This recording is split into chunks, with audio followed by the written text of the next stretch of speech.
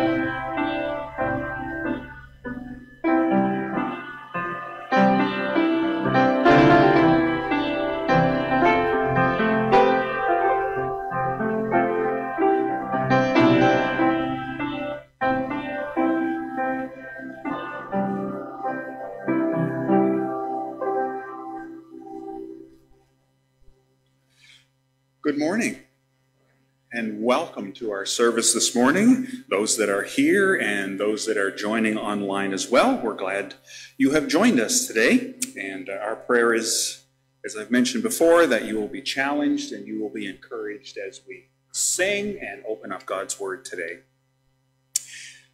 One, well, two announcements. Uh, as we begin this morning, and that is uh, Paul wanted me to highlight uh, Monday to Friday, 6:30 p.m. the week of prayer on Zoom. So just to highlight that for you. And then two birthdays. One would be my wife's, because she's older than me.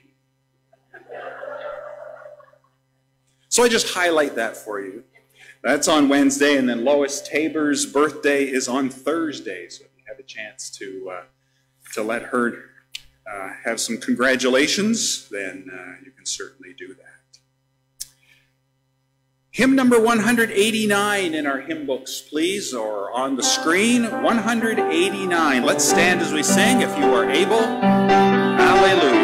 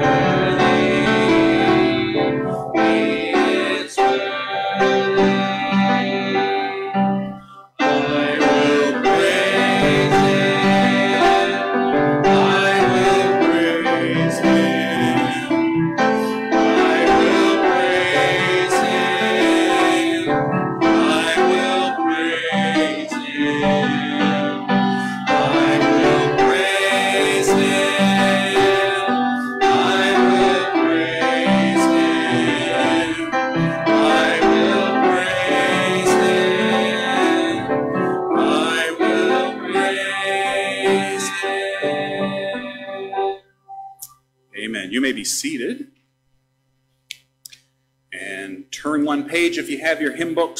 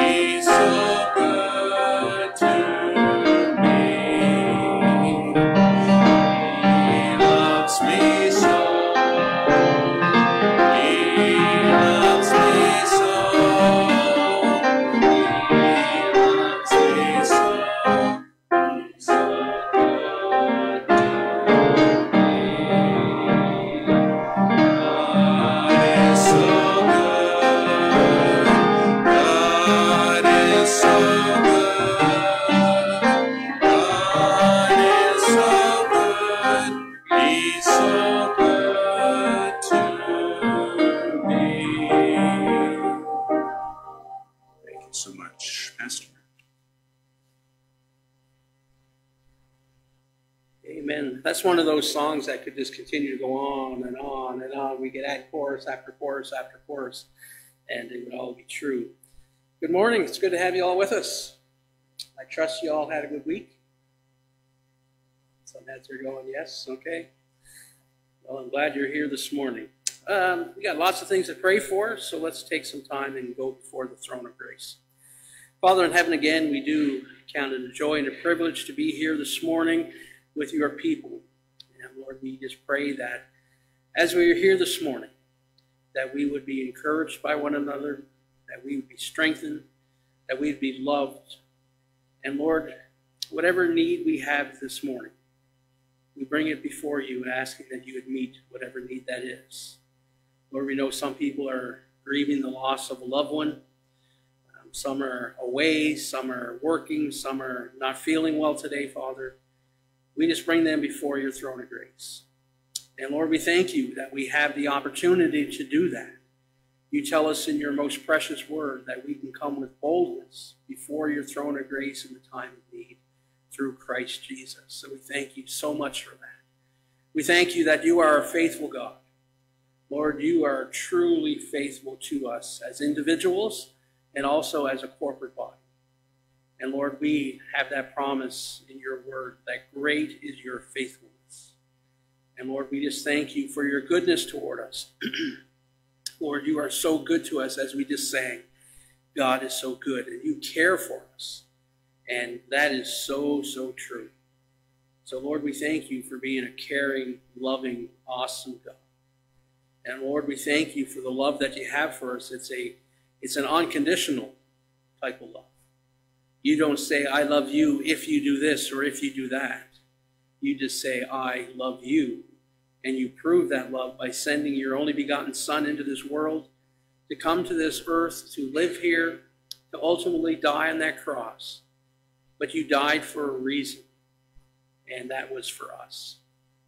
The Bible tells us that Jesus died for our sin according to the Scriptures, and he was buried and rose again the third day according to the Scriptures.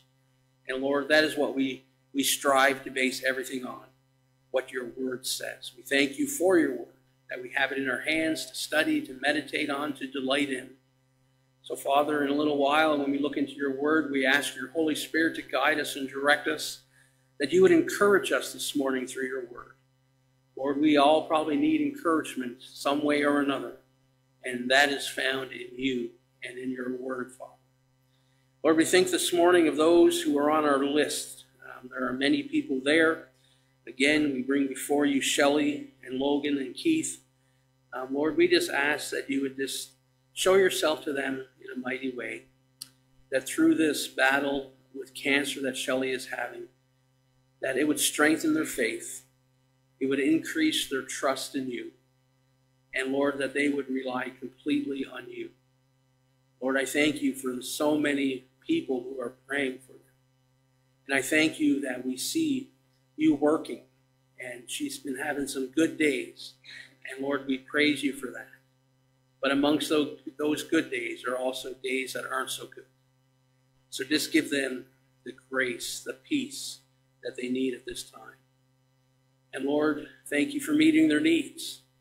Uh, they need a lot of things for uh, the house, and you have provided. Uh, now they're going to be traveling back and forth to Moncton almost daily for chemo treatments. So that's going to involve a lot of gas money and such, and we know that you will continue to provide. So we thank you for the doctors that are looking after her and for the treatments that they're going to do. Lord, we just pray that these treatments will help. And Lord, we do pray your will be done.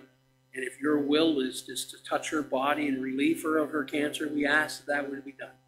We know that you can do it because we have seen it done in the past and you are the same yesterday, today, and forever. So we put this family into your hands this morning. Lord, we think of Pauline and Terry Ward as well. Just continue to work in them. Lord, we think of uh, our brother Bruce. Thank you for him and Kathy being here this morning. Lord, just continue to encourage them. And Lord, just bless them with, with good health and watch over them, Father. And we think of Carl Amos this morning. Lord, um, you know what's going on in his life physically. Lord, just be with him. Just give the doctors wisdom and discernment and how to go forward with, with what's going on. And Lord, we just put him before your throne of grace this morning. And there are so many others that are on our list and those that aren't on our list, but you know what their, their needs are. We bring them before you this morning. Lord, we think of our missionaries this morning scattered throughout the world. Lord, you have called them there. They have obeyed you and went. Uh, they are serving you and they're seeing fruit for their labors all around the world. And Lord, we are just so thankful that we can be part of that through supporting them financially and prayerfully. So continue to use them, allow them to see um, people come to know you and people that would be discipled and people that would serve you, Father. So just bless them and meet whatever needs that they have. So, Father, we just thank you for your goodness to us. And we look forward to seeing what you're going to do in the days ahead. And Lord, we also look forward to the day when you come to take us home. And Lord, what a day that's going to be. But until then, there's work to be done. So work in us and through us, we ask in Jesus' most precious name. Amen. If you have your Bibles for our scripture reading this morning, go to Joshua chapter 1. Joshua chapter 1, we'll be reading verses 1 through 9. So Joshua chapter 1, starting at verse 1. Joshua 1, verse 1. Now, after the death of Moses, the servant of the Lord, it came to pass that the Lord spake unto Joshua, the son of Nun, Moses' minister, saying, Moses, my servant, is dead. Now therefore arise, go over this Jordan, thou and all this people, unto the land which I do give to thee, even to the children of Israel Every place that the sole of your foot shall tread upon, that have I given unto you, as I said unto Moses.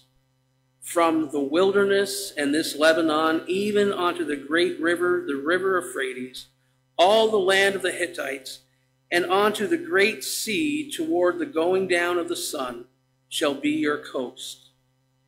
There shall not any man be able to stand before thee all the days of thy life. As I was with Moses, so I will be with thee. I will not fail thee, nor forsake thee. Be strong and of a good courage. For unto this people shalt thou divide for an inheritance the land which I swear unto thy fathers to give them. Only be thou strong and very courageous, that thou mayest observe to do according to all the law which Moses my servant commanded thee. Turn not from it to the right hand or to the left, that thou mayest prosper whithersoever thou goest. This book of the law shall not depart out of thy mouth, but thou shalt meditate therein day and night, that thou mayest observe to do according to all that is written therein, to do according to all, oh, I said that, for then thou shalt make thy way prosperous, and then shalt thou have good success. Have not I commanded thee? Be strong and of a good courage. Be not afraid, neither be thou dismayed. For the Lord thy God is with thee, whithersoever thou goest. This is the word of God. Let's take a few moments and just greet one another in love.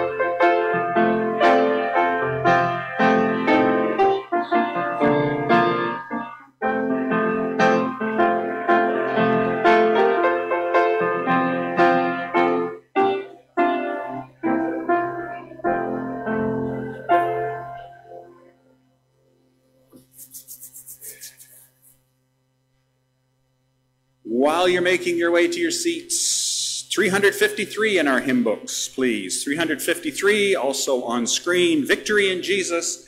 And I know you just stood and sat. Now you're going to ask you to stand again if you could.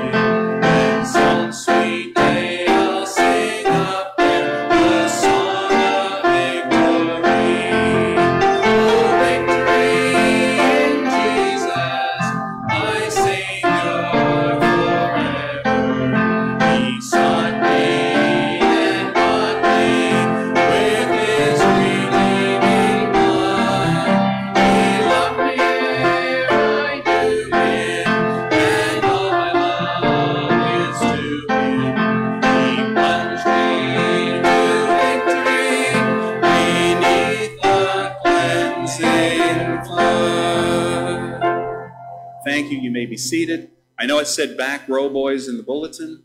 Well, you were all honorary back row boys this morning, seeing one of our members was lounging on some tropical island somewhere.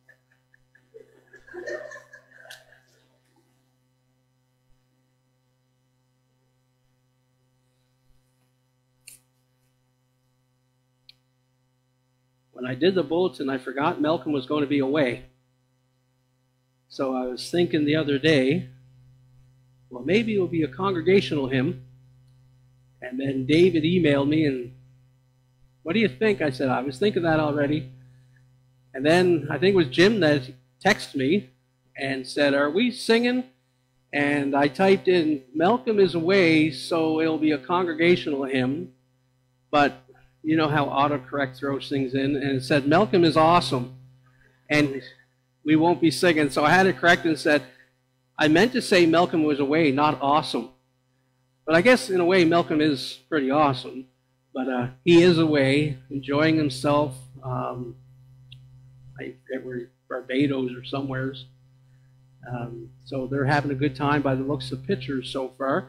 So I'm at the point where just stop sending pictures. You know, we don't need to see any more of this stuff when we are here and it's minus 15 and everything else. But anyway, and uh, I haven't picked on my wife from here for a little while.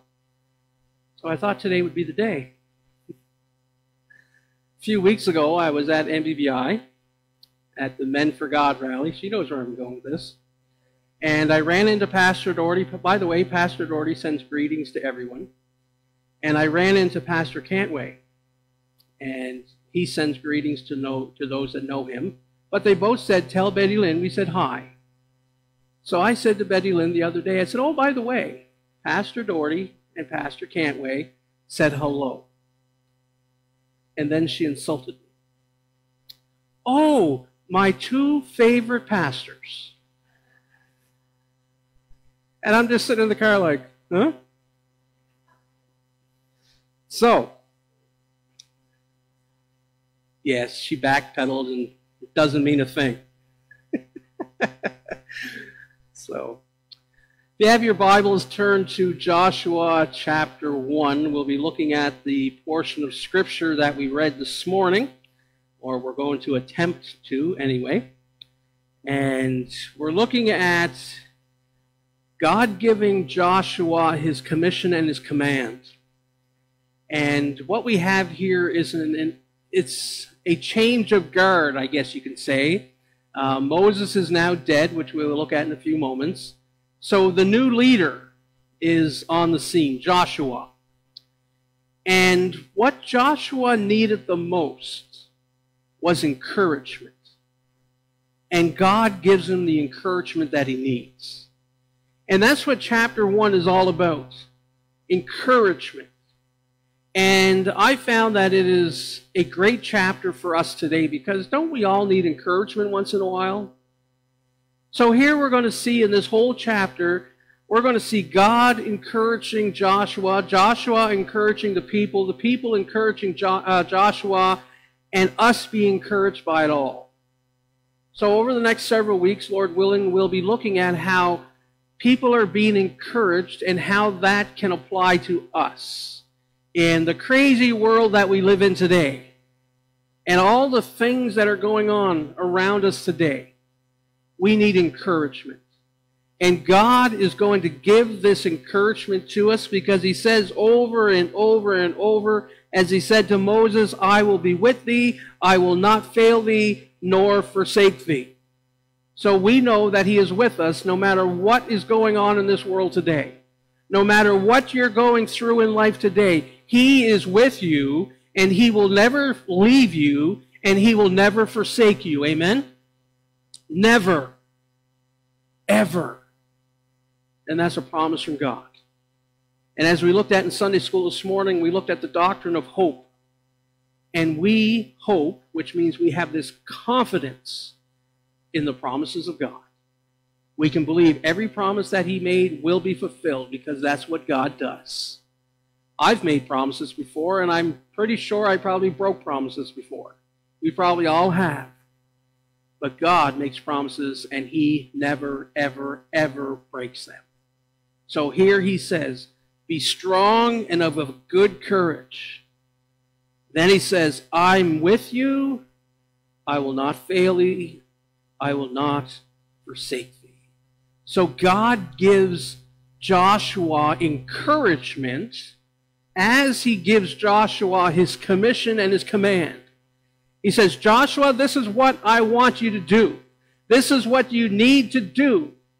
But along the way, remember, I'm with you. I'm with you wherever you go. So be encouraged. In Joshua the first 12 chapters, we see that they enter into the promised land. Then, chapter 13 to 21, which we will get to eventually, we see that the land is divided. The land is divided into the portions that Joshua gives to all the tribes. And then this book concludes with the final message of Joshua to his people. As we looked at, if you remember when we were spending a couple of weeks in the introduction, the great theme of this book is possession. Possession. And in this first chapter, we will see what is meant by that. So this chapter opens up with the Lord God personally giving Joshua his commission and his commands. So look at verse 1. Joshua 1, verse 1. Now, after the death of Moses, the servant of the Lord, it came to pass that the Lord spake unto Joshua the son of Nun, Moses' minister, saying, Look at that first word. Now. The word now, according to scholars and translators and such, should be translated and. And it connects to the final chapter of Deuteronomy. So, Deuteronomy chapter 34. The word and is a connective. And the minute a speaker says the word and, he or she must keep on talking.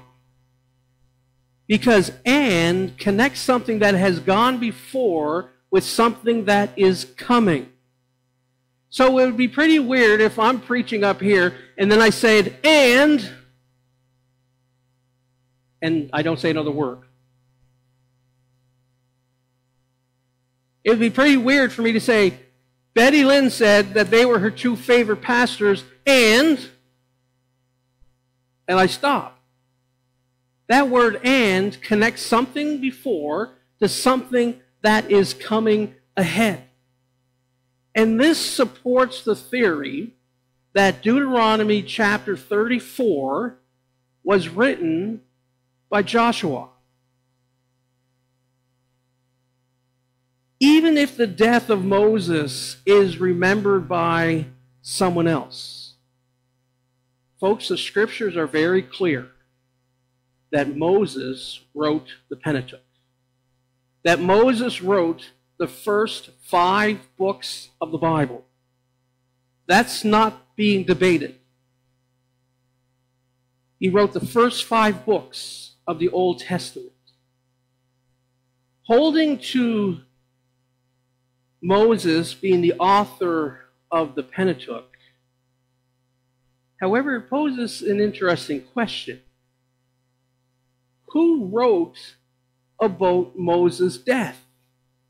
In Deuteronomy 34. Or, in other words, who wrote the eulogy for Moses? Did Moses write his own eulogy? Probably not. So, who wrote it?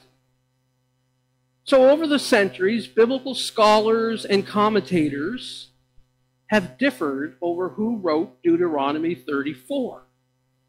For example, Jewish tradition cites that Joshua wrote chapter 34. In his commentary, John Calvin acknowledges the probable conjuncture of the ancients that Joshua wrote Deuteronomy 34. But he also says that Eleazar the priest may have wrote Deuteronomy 34. Joshua is the most likely candidate. Most commentators and Jewish traditions agree. A fellow by the name of John Peter Lange, he points out that it is clear from Joshua's command in Joshua 1 8, which we just read, this book of the law shall not depart out of thy mouth, you should meditate on it day and night, etc. That is the same writer that is writing these things. Joshua did meditate and practice the Word of God. Joshua served, did he not, as Moses' minister or Moses' servant since his youth? So he likely grew up loving God's word while serving Moses. evidence also gives, or scripture also gives evidence of Joshua's literary activity in Deuteronomy 31. Let's go back to Deuteronomy 31, and we'll start at verse 14. Deuteronomy 31 14.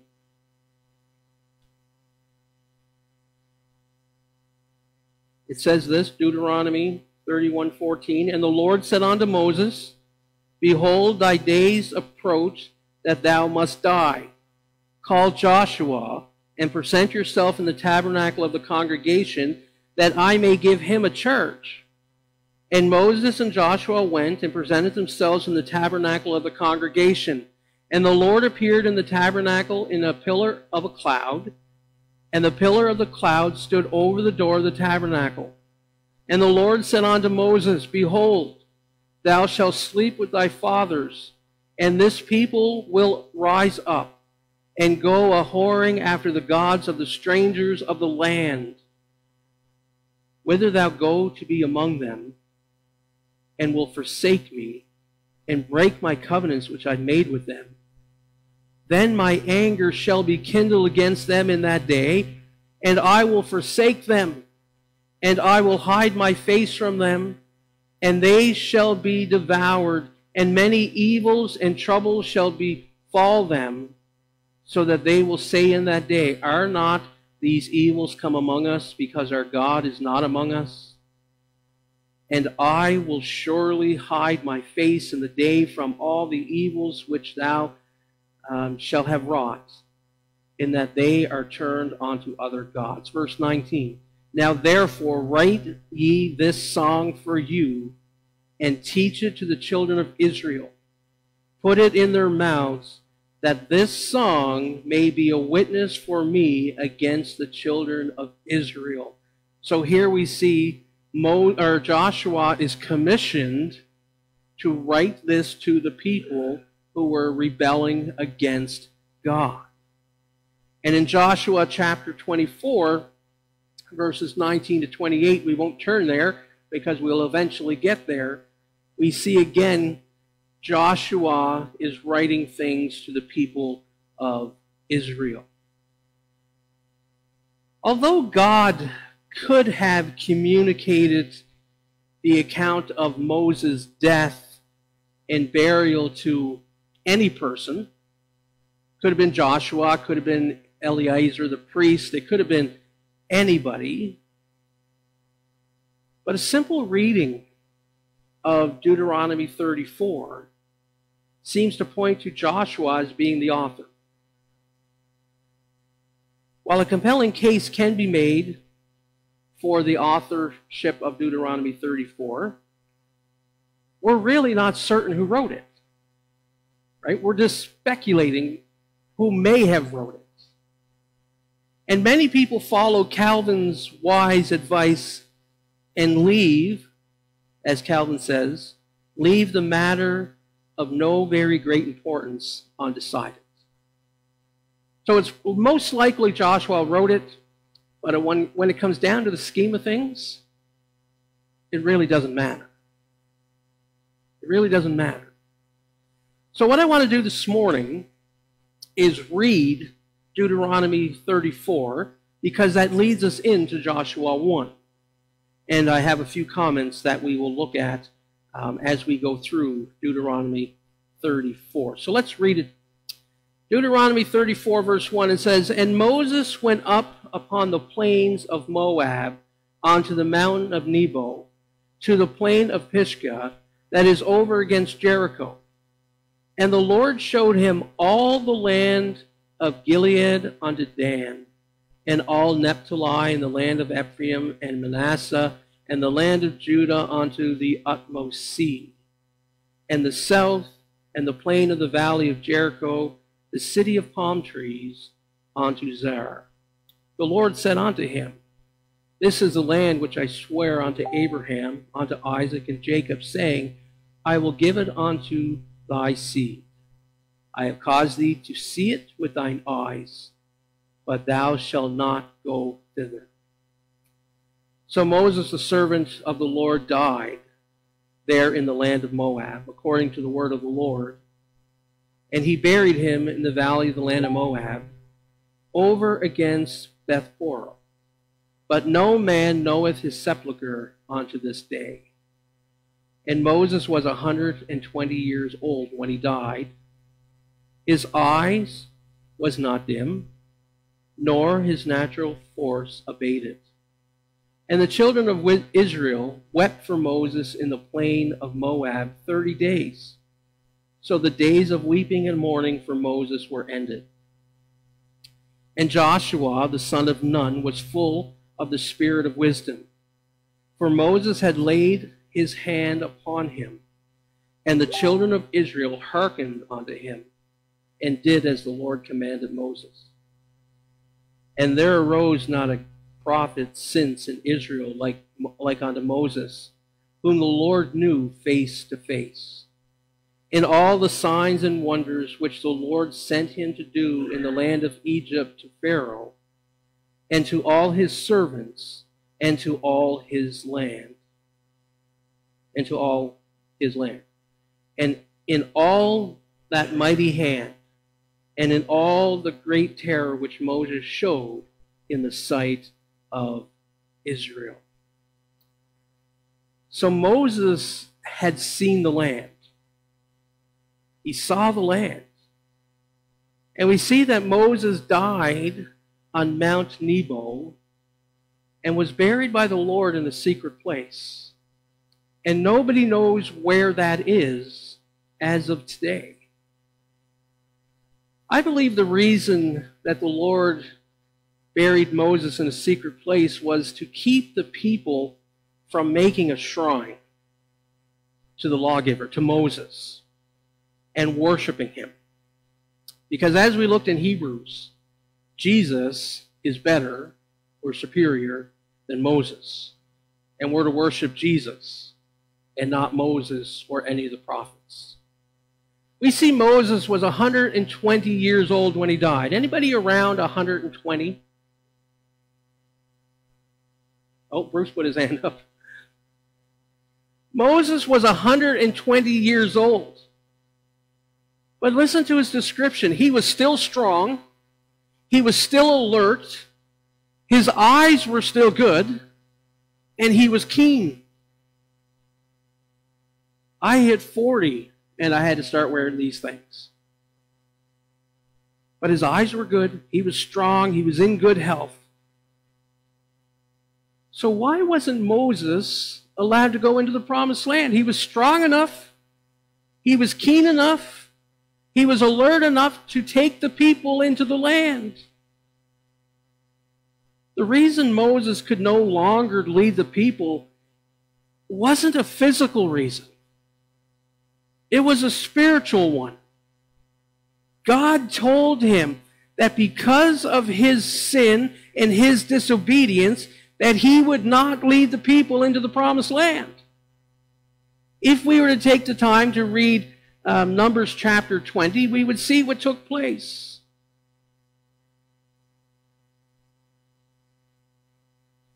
He sinned because he disobeyed God. God said, Say to the rock, and it'll give water. But Moses was upset with the people. So he struck the rock with his rod twice. Did God say, strike the rock? Not this time. He did in the past.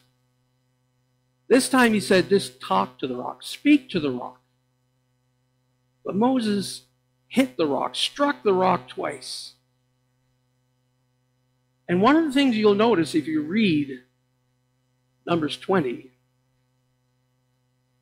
is that him and Aaron took credit for the water.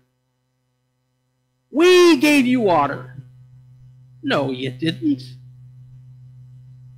God gave the water even though you disobeyed him. Because when he struck the rock, water still came. But they disobeyed, and Moses was now you're not going to enter the promised land because of your sin and because of your disobedience. That must have been a hard blow for Moses, wouldn't it? He led the people out of Egypt. He was the leader. He's standing there. He can see the land. Tap, tap, tap by God. Hey, Moses, you're not going to enter. You're not going to enter the land because of your disobedience and your sin. That must have been a blow to him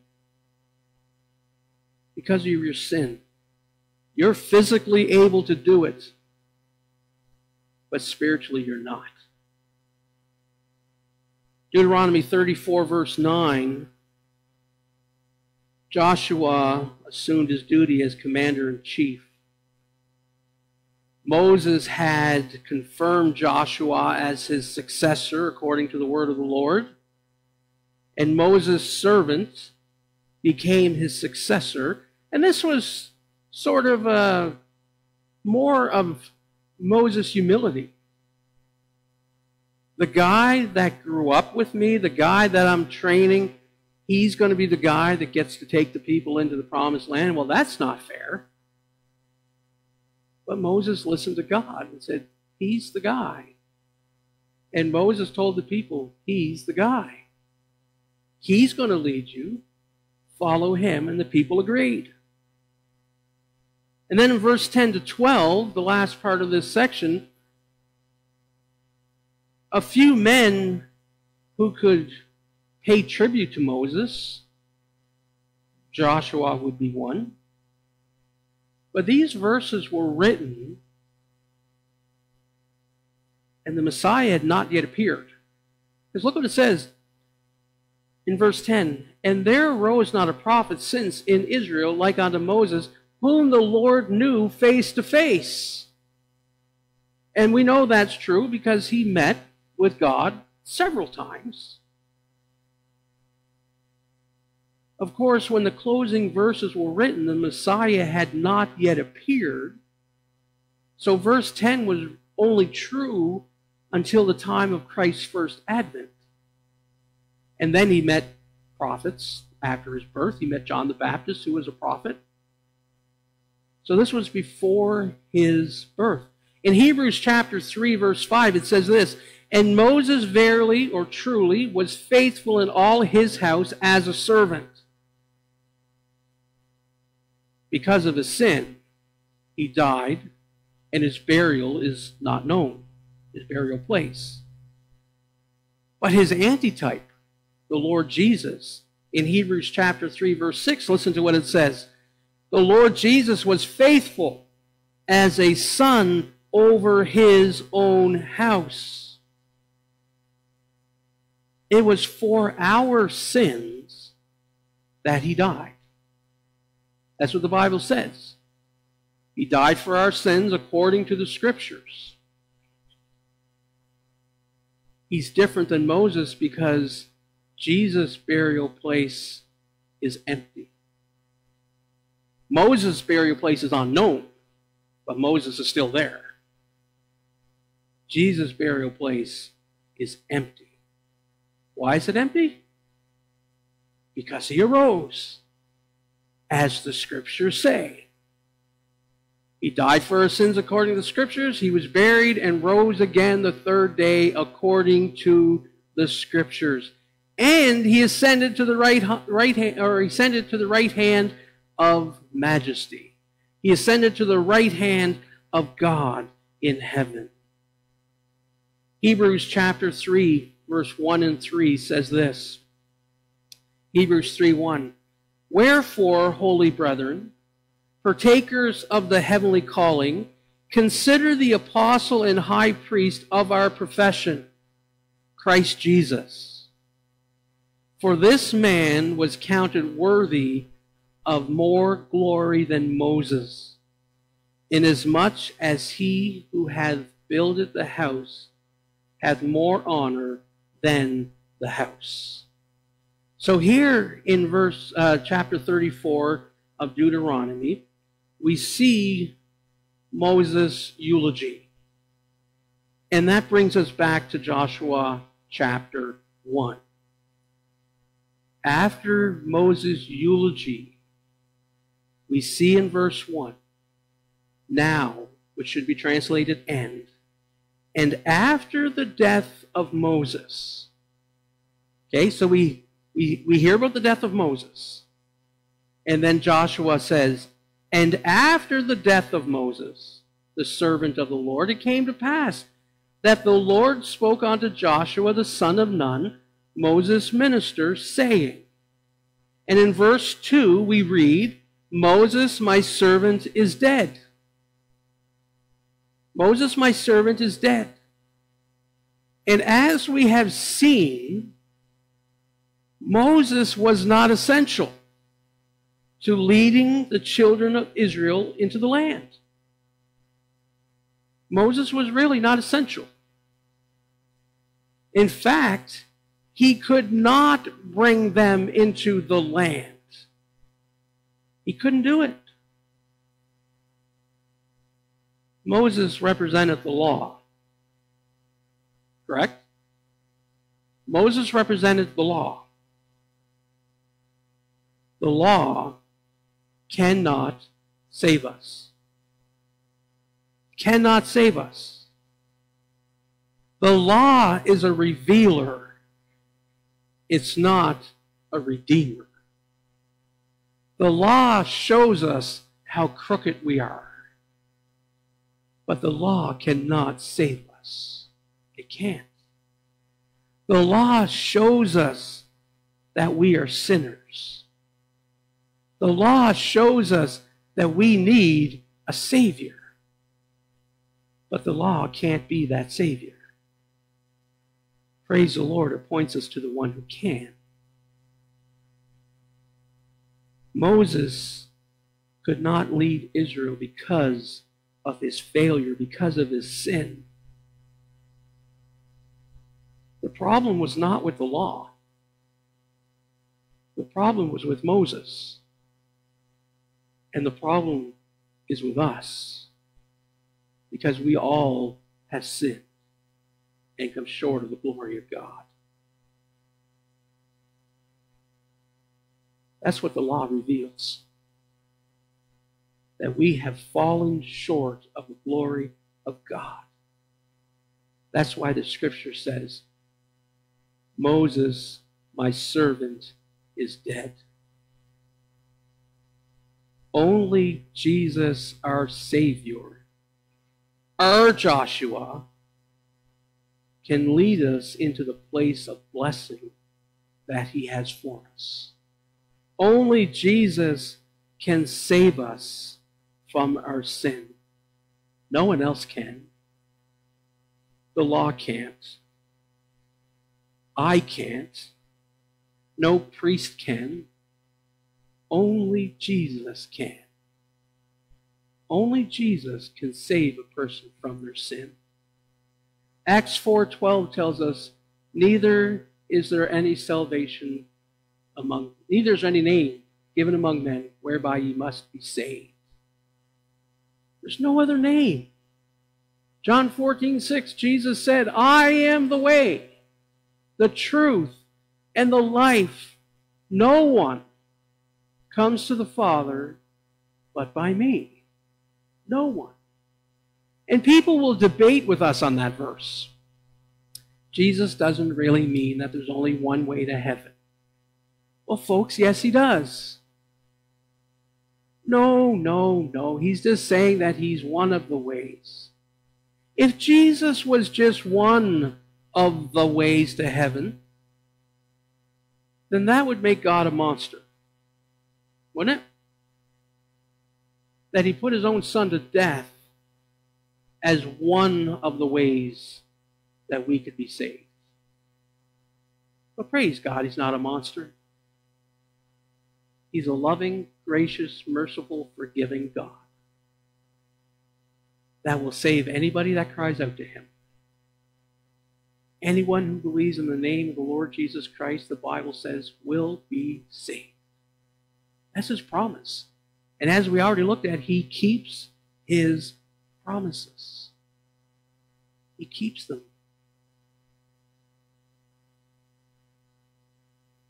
Joshua 1 2, this verse tells us the land was given to Israel. Israel's ownership was unconditional. God promised it to Abraham. God promised it to his offspring. And God reaffirmed that promise over and over and over again in the book of Genesis. He promised it. And then we get into the book of Deuteronomy, and God made the Palestinian covenant with Israel, which gave them the land as an everlasting possession. The land is theirs. No matter what anybody says today, no matter what the government says today, the land is Israel's. And not just the land that they occupy, but much, much more. Because God made a covenant with them. This land is yours. So whoever says, no, it's not, or whoever says, well, let's have a two state land agreement, no. The land belongs to Israel right from the mouth of God. The land is theirs. So we should be encouraged here because God made a promise to them that the land would be theirs as an everlasting possession. So the promises that he made to us, he is going to fulfill. That should encourage us today. He will fulfill every promise that he's made. Praise the Lord. Praise the Lord. So now in verse 2, we see the command Moses, my servant, is dead. Now, Joshua, arise. Go over this Jordan. Now, arise. Go over this Jordan. May we not only be saved from, but be saved to. May we not only be saved from sin, that makes us safe in Christ, but may we be saved to holiness. May we, may we be saved to holiness. This makes us happy in Christ. May we realize our completeness in Jesus. We're complete in Him, Colossians tells us. May we realize our completeness in Him this day and cease from our wanderings of fear. Israel wandered the wilderness for 40 years, 11 day trip, 40 years because of their disobedience. There's a lot of Christians who are wandering today, who are wandering in fear. They see what's going on in the world. They see what the news is saying. They're seeing this, they're seeing that, and they're fearful. I'm not saying that we shouldn't be concerned about things, but we do not need to fear. We don't need to fear because God is with us whithersoever we go. He will never leave us, He will never forsake us. Never. Ever. Charles Spurgeon said this It is time we took possession of that goodly heritage the Lord has made our one. For in Christ we have obtained an inheritance and have the guarantee of it in our possession of the Spirit of God we have lingered long enough in the wilderness. That's so true. We have lingered long enough in the wilderness. Let's claim the inheritance that God has promised us. He's promised us all spiritual blessings. And we'll look at them next week, Lord willing. So Joshua was encouraged from God's commission, and he was encouraged by God's command. He's the new leader. A wise leader doesn't completely abandon the past or what the past leader had built on. We don't abandon what those who came before us do. We remember and we build on it. Joshua didn't say, Yahoo, I'm the commander. Forget about everything Moses said and did. Let's do it my way. No. He still had respect for Moses. Moses is mentioned 57 times in the book of Joshua. That's evidence that Joshua still respected Moses and what he had done for Israel. Now God is saying, You're going to build on what Moses did. You're going to lead these people into the land that I have promised them as an everlasting possession. You're going to do this, and I'm going to be with you just like I was with Moses. So he was encouraged. Joshua worshiped the same God that Moses worshiped. He obeyed the same word, God's word, that Moses gave to Israel. So this new leader was still continuing to do the same things that God told Moses to do. God commissioned, and we'll finish it with this God commissioned Joshua to do three things lead the people into the land. Isn't that what he commissioned him? Yes. Now therefore go, arise, go over this Jordan and all this people onto the land which I did give unto them, even to the children of Israel. So God's commission was lead the people into the land. Second commission was defeat the enemy. Don't live with them. Don't hang out with them. Don't worship the gods that they worshiped. Defeat them. And thirdly, claim the inheritance. Claim the land that I have promised you. Claim it. When we get to verse 3, it says, Every piece that the sole of your foot shall tread upon, that have I given unto you, as I said unto Moses. Claim the inheritance. God could have sent an angel to do that, couldn't he? He could have sent an angel to lead the people in the land. He could have sent an angel to defeat the enemy. He could have sent an angel to claim the inheritance. But he chose to use a man and give him the power that was needed to get the job done. So God has a commission for us. And he gives us the power to do the job that he's called us to do. Go ye into all the world and teach the gospel. Baptize them in the name of the Father, the Son, and the Holy Spirit, teaching them to observe all things whatsoever I have commanded you. And lo, I am with you always, or some translations say to the end of the world or to the end of the age. That's our commission. And He gives us the power to do it. He gives us the power to do it.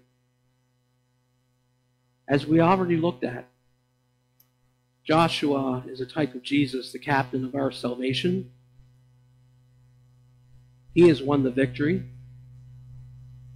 And now he shares that spiritual inheritance with us. How awesome is that? He shares his inheritance with you and I. So God encourages Moses with this commission and command. And he encourages us to do his will. He encourages us to do what he has called us to do. And this chapter, as I said, is all about encouragement. And who doesn't need to be encouraged? Especially by God. It's one thing for me or you to encourage someone, but it's a whole different thing when it's God that's encouraging. And He's encouraging us today. I am with you. I will never leave you. I have given you the power to accomplish the job that I've called you to do. Be of a good courage. don't be afraid. I think that's awesome. It's awesome. Let's pray. Father in heaven, again, we do thank you and praise you for being a great, awesome God. And Lord, we don't use that word awesome lightly. We are in awe of who you are. And thank you for the encouragement that we got from you this morning from your word. That no matter what we're going through in life, no matter what life throws our way, we know that you are with us. That you'll never leave us, and you'll never forsake us. You tell us, as you told Joshua, don't be afraid. Be of a good courage. And thank you for giving us that courage.